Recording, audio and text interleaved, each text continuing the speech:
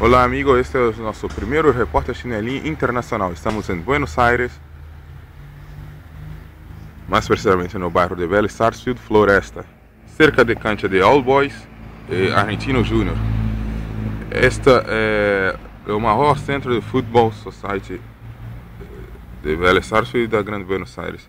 São diversos campos. Aqui há um cuidado com a grama mesmo sendo sintética, não podemos entrar. Por isso estamos do lado de fora para não estragar a grama. Mas se percebe que a rede no gol, tudo muito bom. Iluminação, grama de excelente qualidade. Buenos Aires é uma, apaixonada, uma cidade apaixonada por futebol. Diversos times. Você acompanhará isso durante a semana. Isso é, é o Gym Academia e Futebol de Floresta.